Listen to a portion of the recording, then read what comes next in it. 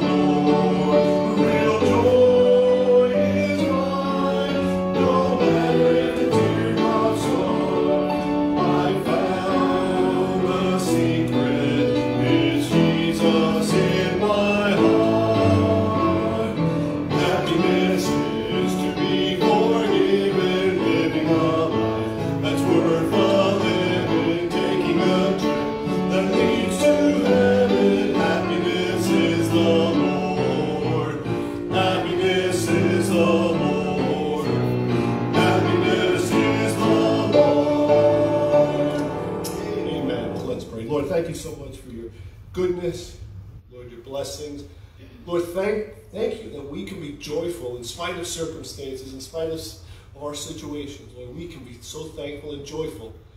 Lord, our joy is in you. And Lord, may we never forget that we can always, always have a spirit of thankfulness and happiness in our heart. We do pray that you would bless our service tonight and pray that uh, the testimonies and the music and the preaching, Lord, would just be uplifting. And Lord, that it would be, uh, Lord, just praise and worship to you and you alone. For it's in Jesus' name we pray. Amen. Amen. All right. You may be seated. All right, here we go. Anyone have a testimony and a favorite hymn they would like to sing? Or yes, Lucy.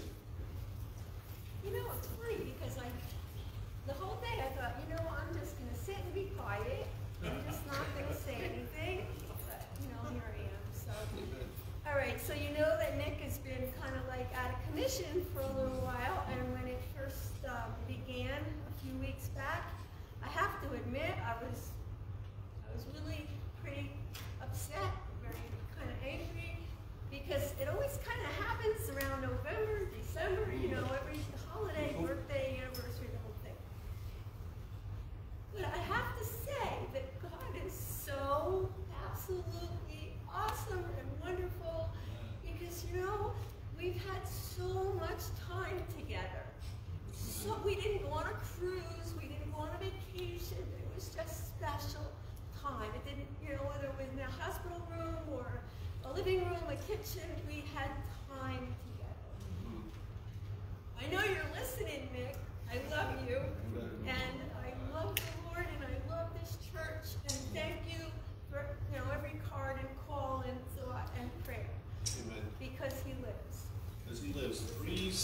Seven. he lives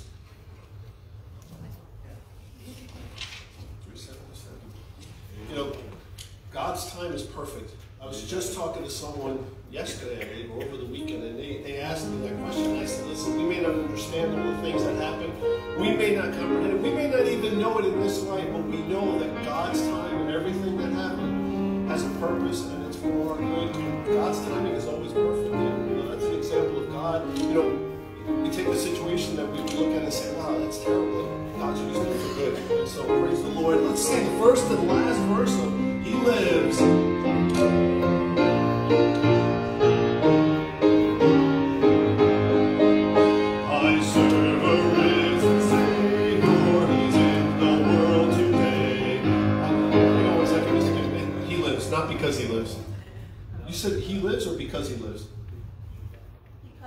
Because he lives. Sorry.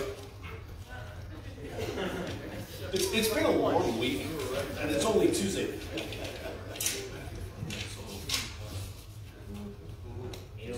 Thank you. 805 because he lives. First and last person. because he lives.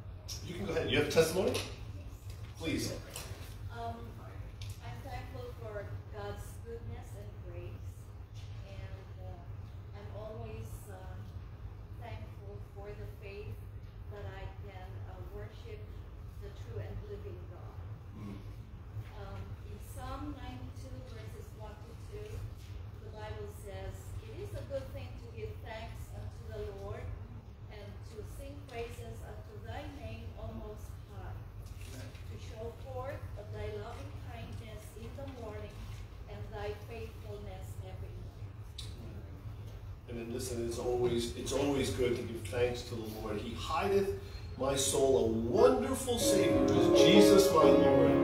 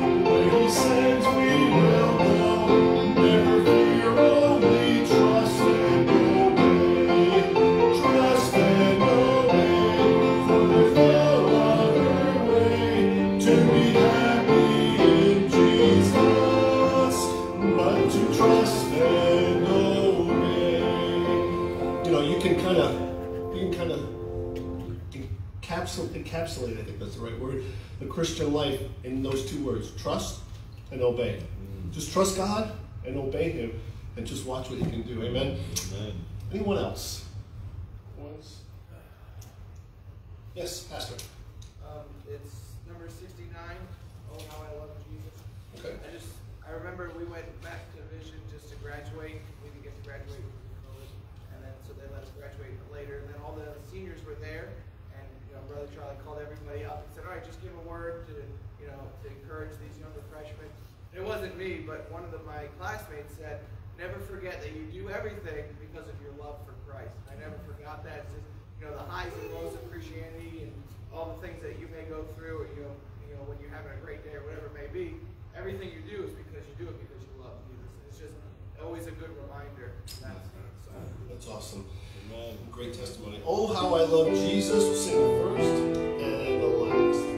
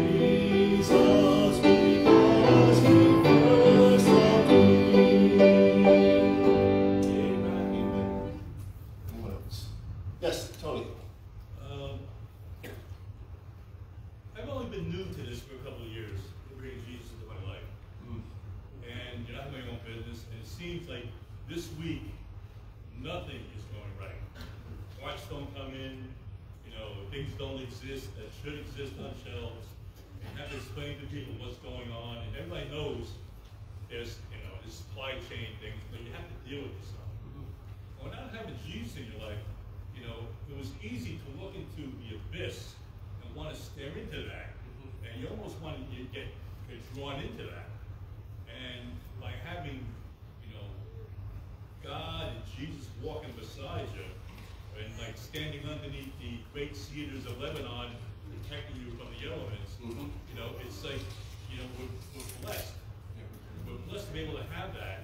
And when you see so many people that don't have that, and you know, all the people that go into liquor stores now buying, stocking up for tomorrow night, which is the biggest night of drinking for college kids and high school kids, you know, it's so detrimental to everything. Mhm. You know, and it's it's the simplest thing in the world to do is to say, Jesus, forgive me. Yeah. But it's the hardest thing to do because it definitely changes the life you're with, the people that you're around, how you handle things. I am so happy that I can deal with the stuff I'm dealing with this week and not being a raving lunatic.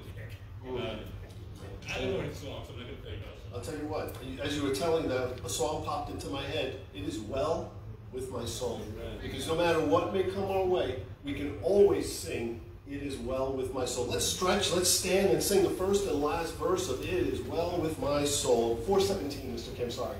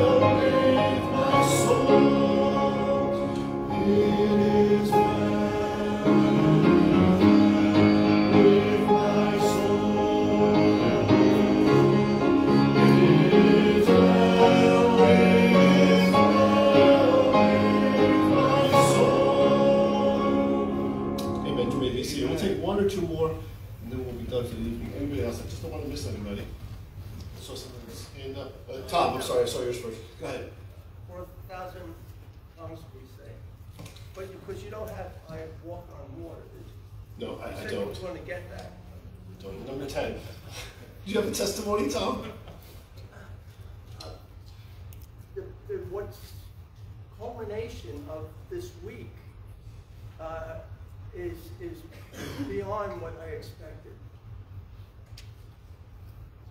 I had, my wife came to, my wife came with me to the, the anniversary. And, uh, if you, I, I, I don't know if you could feel the love I have for Jesus. Amen. Amen. Only only Jesus can save lives. Only Jesus can save lives. I'll come back to you, Frank. Just hold that thought. Song number 10, oh, for a thousand times. First, second class. Oh,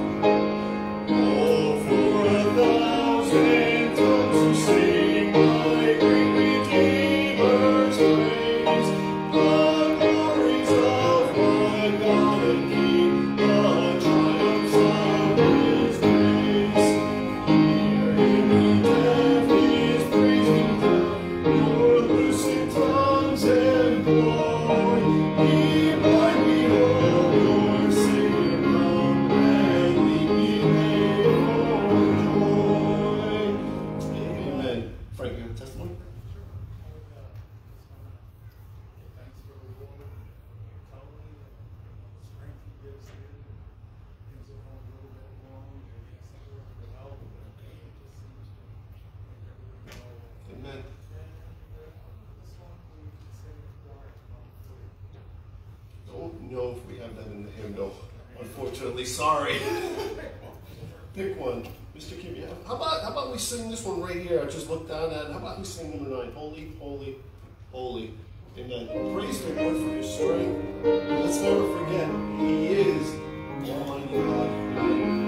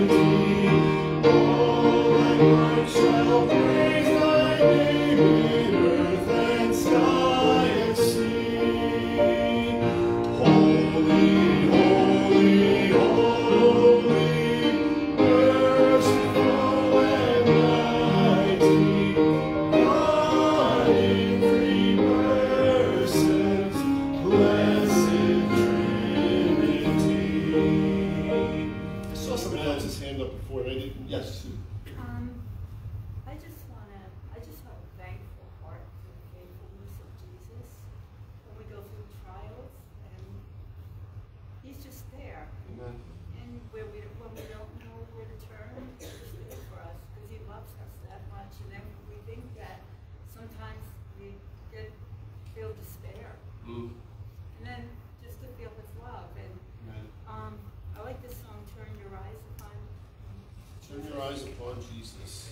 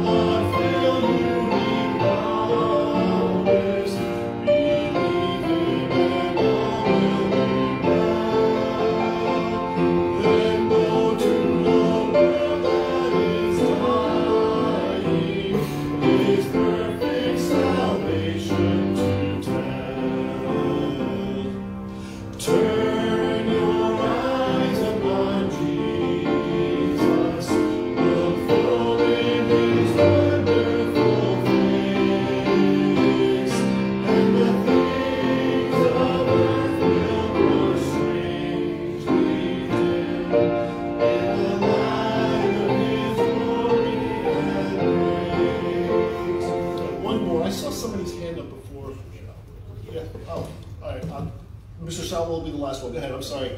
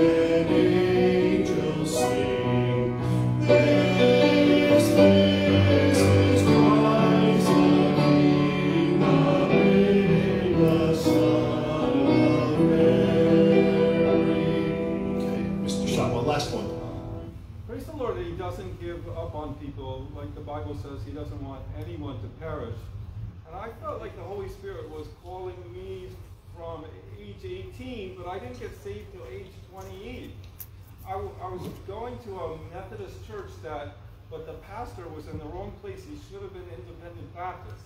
Because he was constantly preaching on salvation in a Methodist church. Mm. And, and those people were upper middle class and they just wanted to be in a good club with people that are like them, good in, in sense, mm-hmm. good people. So I have good friends and people with good character, but they weren't really interested in Jesus, and I wasn't much different. And sometimes the pastor would cry. He'd, he'd give a good salvation message, and he'd ask for people to come forward, and no one would come forward. And I'd see tears, and I said, Pastor, why are you crying? And he knew I didn't understand. And hmm. eventually I got uncomfortable because he kept asking people to get saved, and nobody would get saved. And so then I went to a Presbyterian church where nobody asked you to be saved, and, and, and I was comfortable, and I could have just been lost for the rest of my life. But no, God kept after me, kept after me, and, and I was feeling this this famous emptiness, and and this like something's missing in my life.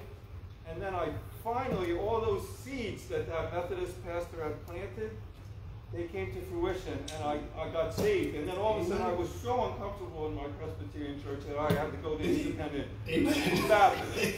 So, so praise God that He loves people, and you can turn away from Him again and again and again, but He doesn't give up on you. He always wants you. Amen. That's awesome. All right, and then my uh, hymn would be Nothing But the Blood, 164. 164, nothing but the blood. You know, they say that the, the, the road to destruction is paved with good intentions. You know, it's not about good intentions, it's about a relationship with the Lord Jesus Christ. And praise God. And, I, I was sure where that was stubborn too. It took me six months of hearing the gospel before I finally gave in. But praise God that God is a God of second and third and fourth chances, and He's always calling out. Nothing but the blood. Sing the first and last, the pastor will come to the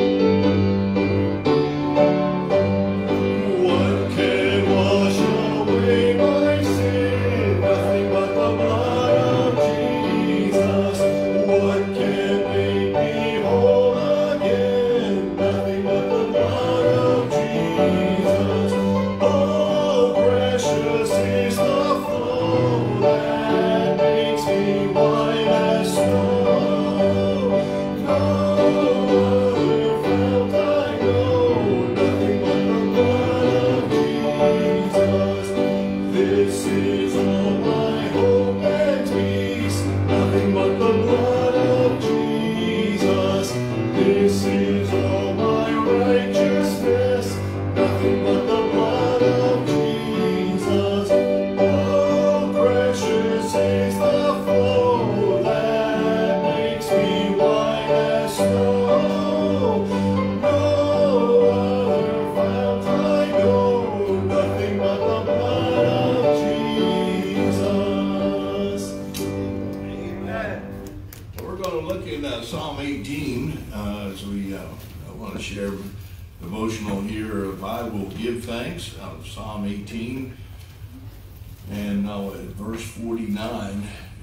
text verse. Says, Therefore will I give thanks unto thee, O Lord, among the heathen, and sing praises unto thy name. Let's pray. God, thank you for this time together. Thank you, Lord, for this time of the year where we just uh, take a, a break and a pause in our life just to be able to express thanksgiving and gratitude to our God. And Lord, I pray that you just would bless these uh, devotional thoughts tonight in reference to uh, offering up uh, gratitude, offering up thanksgiving and praise to our God. We ask this in Jesus' name. Amen. Psalm 18 is uh, one of my favorite Psalms to be able to read, and really Psalm 18 and verse 6 uh, really speaks to my heart. Says, In my distress I called upon the Lord and cried unto my God. He heard my voice out of his temple, and my cry came before him, even into his ears. And so Psalm 18 is a wonderful psalm reminding us of the uh, blessings and the presence and deliverance of God. David wrote this psalm uh, shortly after he was delivered from his enemies.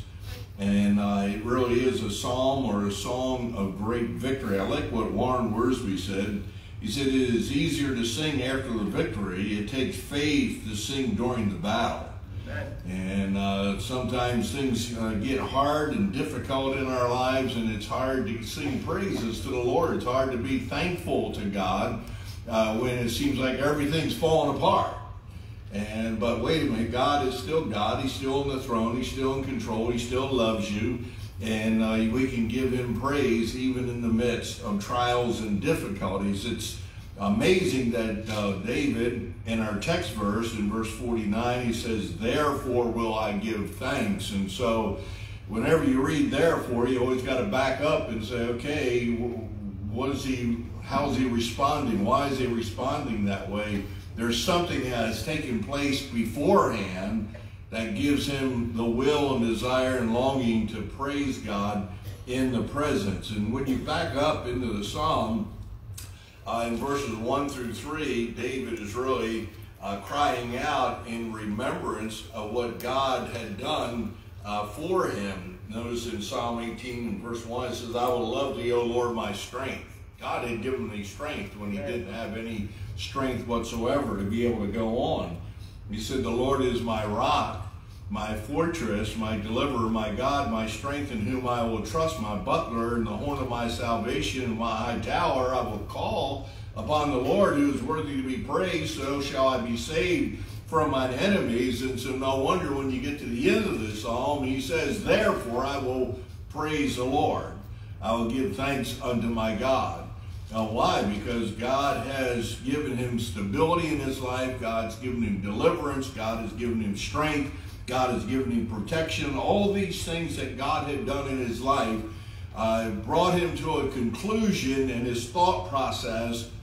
Because of these things, I'm just going to, I'm going to, I'm going to give God the praise. I'm going to say thank you to the Lord. And uh, as you come to the end, we don't have time to go through the psalm and break it all down, but when you get to verse 31 through 36, David is moving forward into the presence in reference to singing praises unto his God. He speaks of what God had done in the past. But in verse 31 it says, For who is God save the Lord, and who is a rock save our God?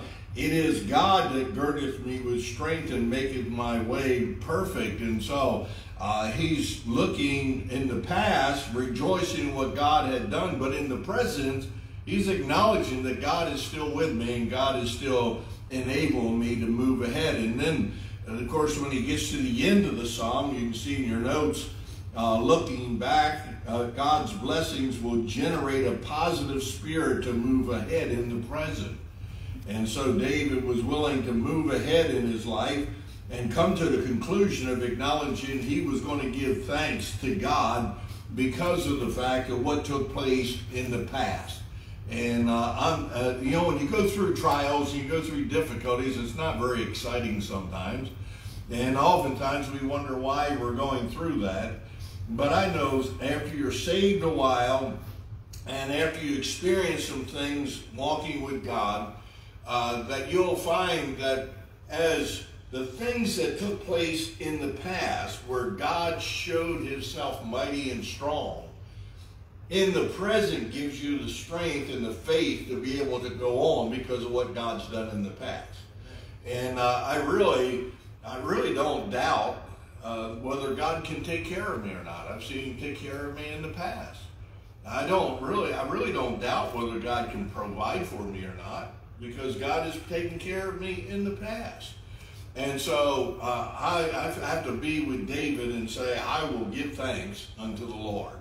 And I will thank him. I wrote down, I think there's seven of them here. And don't worry, it won't take long. And uh, thoughts in reference to this matter of giving thanks to the Lord. Notice, first of all, uh, in Psalm 30 and verse 4, there's sanctification. Notice it says in your notes there, Sing unto the Lord, O ye saints of his, and give thanks at the remembrance of his holiness. He acknowledges the fact in the psalm that we are saints of God. That means we are sanctified. Uh, he speaks in reference to us remembering the holiness of God. To be holy is to be sanctified. And so God sanctifies us when he saves us. He washes us uh, clean. He separates us from the Lord and uh, from the world and separates us unto him. And so we have a very blessed relationship because of the sanctification of God. And I, I think we've kind of, in present day Christianity, kind of ignored and kind of moved away from that word of sanctification. I remember several years ago, I preached a message on sanctification. And boy, I had a couple people really get mad at me about it. And they said, oh, you know, the separation and all this. I didn't get there preaching on. Well, wait a minute. We are separated, whether you like it or not. Amen. If you got saved, you were separated from the world. You were separated unto the Lord. If you're saved, you've been washed clean of your sins, so you're separated from your sins. And there's this spirit of uh, rejoicing that the believer has that we are sanctified in God. And so, because we're sanctified in God, then I'm going to say, I'm going to praise Him. I'm going to thank Him for the sanctification that He's brought in my life. Number two, there I see, I called it adoration. Because Psalm 30 and verse 12 says, To the end that my glory may sing praise to thee and not be silent, O Lord my God. I will give thanks unto thee forever. What is he talking about in that psalm and uh, that verse? He's talking about adoring God. Uh, he says, My glory may sing praise to thee. He wasn't glorifying himself or looking unto himself, but rather he was acknowledging all that God is. And so he adores the Lord. Having a spirit of gratitude and praise unto God uh, puts us in a position of adoring him, uh, proceeding and living our life for the glory of God. And he, I like what he says in the middle of the psalm, that verse. He says, uh, and not be silent. He's just basically saying this I'm not going to shut up about glorifying God. I'm not going to shut up in, in giving thanks unto my God. I'm going to speak forth his praises continually. Amen. Why? Because he adores him. And so there's sanctification, there's adoration. And then number three, we have cooperation, or not cooperation, corporation. And I was thinking about cooperation with the corporation when I was putting this together. And I, I thought, well, don't say cooperation, it's corporation. But I said it anyway. Psalm 35 and 18 says, I will give thee thanks in the great congregation. That's the corporation right there.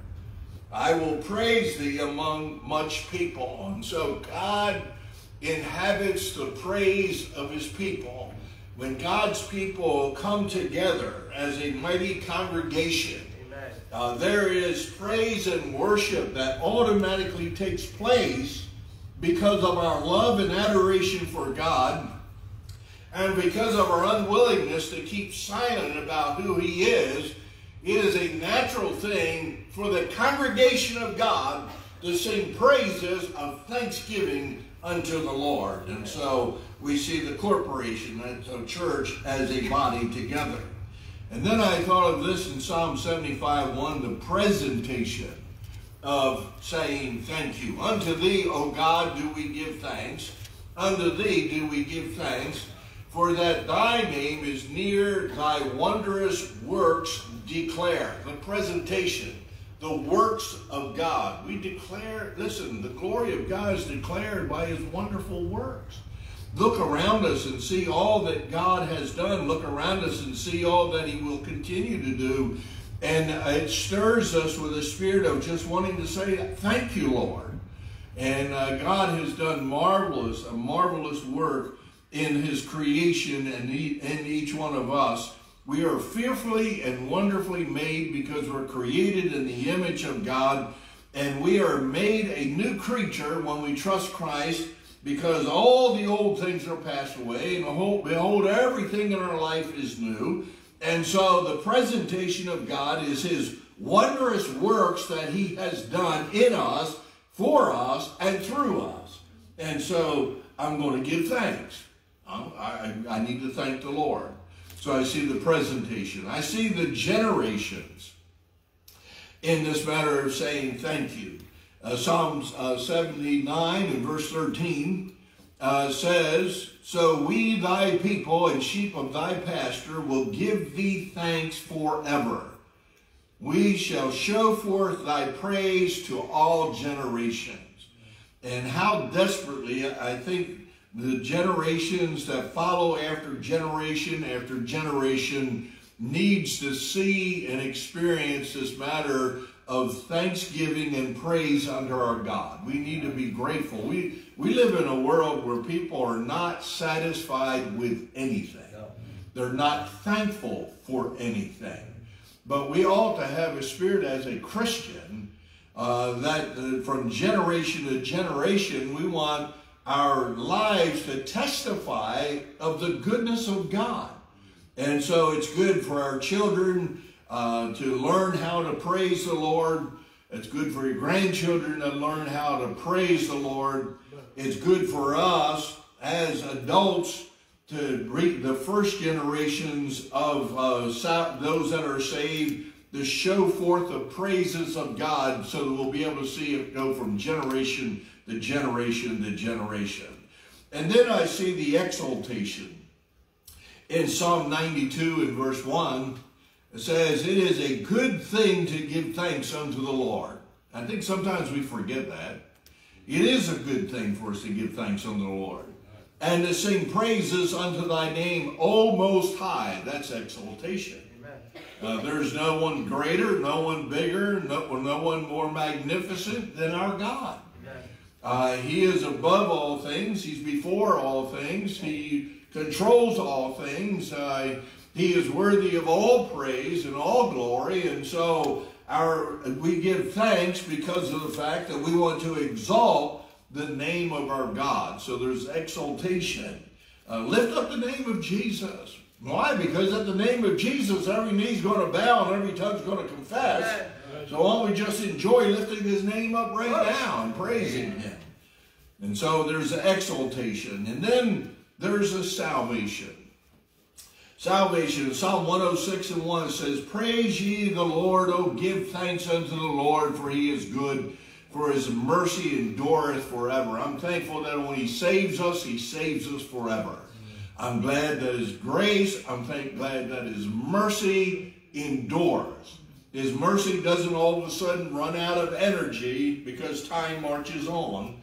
His mercy doesn't all of a sudden run out of its effectiveness because we've been saved quite a while, or maybe we've been tempted and we've fallen by the wayside for a while. No, God's mercy continues on. He gives us eternal life, and we never going to perish. Why? Because God so loved the world that he gave his only begotten Son, that whosoever believeth in him should not perish, but have everlasting life. And so, this matter of salvation, the salvation of God, I want to always have a spirit to say, thank you, Lord, for saving my soul. And so this matter of uh, being in line with David when he said, therefore will I thank give thanks to thee. And if he's willing to give thanks unto God because of these things that happen in his life, then certainly we ought to be willing to give thanks to God also. Uh, Harry Ironside, you can see in your notes there, Harry Ironside said, We would worry less if we praised more. Amen. Thanksgiving is the enemy of discontent and dissatisfaction. Uh, our world needs a good dose of that. Our world needs a good dose of Jesus Christ to where we can learn how to be thankful for who we are, thankful for what we are, thankful for what we have, thankful to know that God loves us and cares for us. And, and we may not have uh, everything that somebody else has, but God is still a good God to bless our soul and to stir us in, in, in a, a, a spirit of saying thank you. I was thinking the other day of uh, people that don't have uh, what I have. And it, it, God really touched my heart about that. And I thought, Lord, you've been so good to me. You've been so good to me. There's many people around this world don't have anything close to what I have. Why, why would I have any entertaining thoughts of griping and complaining? Why would I be discontent with what I have when God has given so much? And God has blessed so greatly. And so I will give thanks unto the Lord. Howard, uh, I'm sorry, Henry Ward Beecher said this, pride slays thanksgiving. But a humble mind is the soil out of which thanks naturally grows. And so let's not be puffed up in pride and uh, just be dissatisfied with life and say, well, I wish I had this, I wish I had that, I wish I had more, I wish that. Everything is living on the wish list of things that you don't have because you think you deserve them and you're puffed up in pride. Why we just be humble before God and just say, thank you, Lord, for what you've done, what you have given, what you have blessed me with. Thank you, God, just for who you are. Then Dietrich Bonhoeffer said this We pray for the big things and forget to give thanks for the ordinary. You ought to thank the Lord you had breath in your lungs to get up this morning. You ought to thank the Lord you had strength in your body to be able to go to work. You ought to thank the Lord that uh, well, the small things in life that we have a tendency to look over are the big things really that we ought to be thankful for. He goes on and says, How can God entrust great things to one who will not thankfully receive from him the little things? And so, you know, Jesus said, To whom much is given, much is required. And so we ought to be in a spirit of just saying, I'm going to thank the Lord because of, of who he is and what he has done to my, in my life. And the little things uh, are so important. I was, I was at the uh, uh, Dunkin' Donuts. That's my lifeblood, amen. I was at Dunkin' Donuts, and uh, I forget, I don't know what the price was, but anyway, my change was like six cents or something like that. And the guy was standing there like he was going to keep my six cents.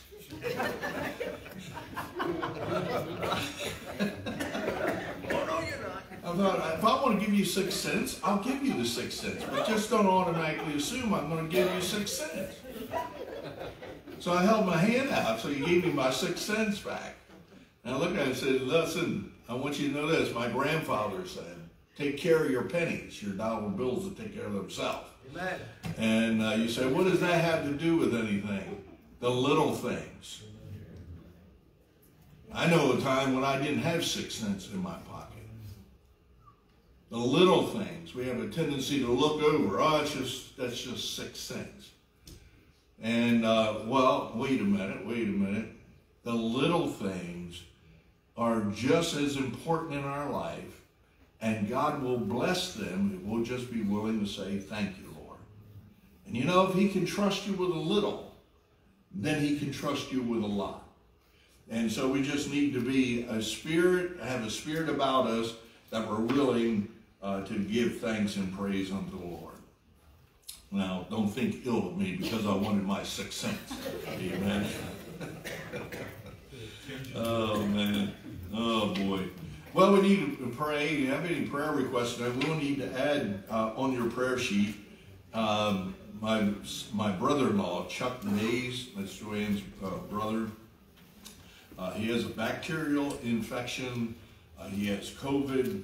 Uh, he has to have all of his teeth teeth extracted, and he's in the hospital right now. He's not very coherent, and so if you pray for him, we'd appreciate that. And uh, that's about all we really know what's going on right now with him. I know he's been struggling health wise in the last year or two, and so if you can pray for him, we'd appreciate that. Chuck Bays. Anything else we need to add to the prayer sheet tonight? Nothing? Good. We got everybody on there. We're in good shape then. Well, let's pray for a good service this Sunday. Let's pray for each other that God will give us a blessed Thanksgiving Day. And uh, let's let's really take time on Thanksgiving uh, just to set aside a moment to be able to pray and sincerely thank God for everything that you have that God has given you.